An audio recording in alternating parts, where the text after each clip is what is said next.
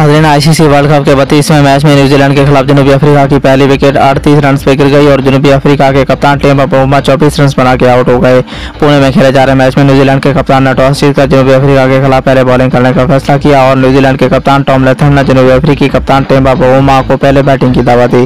जनूबी अफ्रीका की जानब से इनिंग का आगाज़ कप्तान टेम अपोमा और opening batsman Quinton de Kock ने किया, लेकिन केवीज बॉलर्स ने